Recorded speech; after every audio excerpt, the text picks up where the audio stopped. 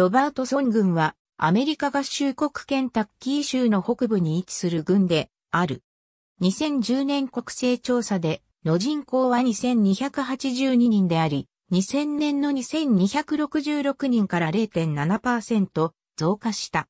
ケンタッキー州では人口最小かつ総面積最小の郡である。郡庁所在地はマウントオリベット市であり、同郡で人口最大の都市でもある。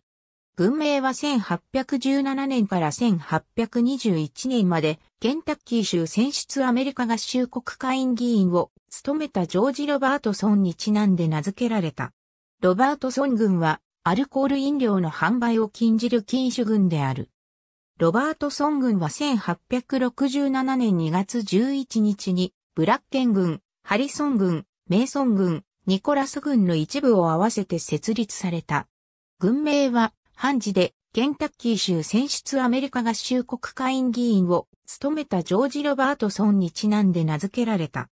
アメリカ合衆国国勢調査局によれば、軍域全面積は100.11平方マイルであり、このうち陸地100.07平方マイル、水域は0.04平方マイルで、水域率は0.04%である。以下は2000年の国勢調査による人口統計データである。ありがとうございます。